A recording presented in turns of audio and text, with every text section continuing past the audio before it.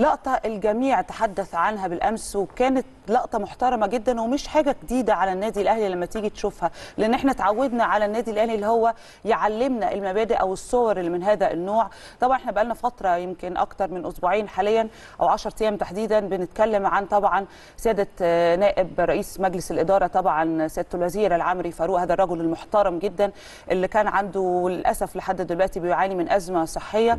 نتمنى ليه كل الشفاء بإذن الله لكن إمبارح فكرة الجمعية العمومية وأول إمبارح وفكرة إن يكون في كرسي محطوط برضو لسيادة الوزير العمري فاروق إن هو واحد موجود بوسطنا حتى لو كان غائب ب يعني جسده لكن هو موجود بالاسم ب بالمكانة. خليني أقول لحضراتكم هذا الشكل يعني. فلقطة عجبتني جدا الناس كلها كانت بتعلق عليها بالأمس. فأعتقد كان لازم نقف عندها يا كريم ونقول فعلا تحية كبيرة وده مش جديد على النادي الأهلي الرقي المعتاد هنقول صحيح. نرجع نقول الرقي المعتاد وهكذا يعني تدار الأمور في النادي الأهلي وأي شخص ليه إسهامات مع النادي الأهلي بالتالي بيبقى له مكانة وبيبقى له مكان في القلب بعيدا بقى كمان عن مقعد ما في مجلس إدارة ما. صحيح. إحنا بنتكلم على شخصيات استثنائية وقدمت كتير قوي للنادي الأهلي وعلى فكرة كل جماهير النادي الأهلي بيكنوا ليه برضه نفس القدر من التقدير والاحترام وكل الحقيقة يعني دعوات الكل لم تنقطع طوال الأيام العشرة الماضية.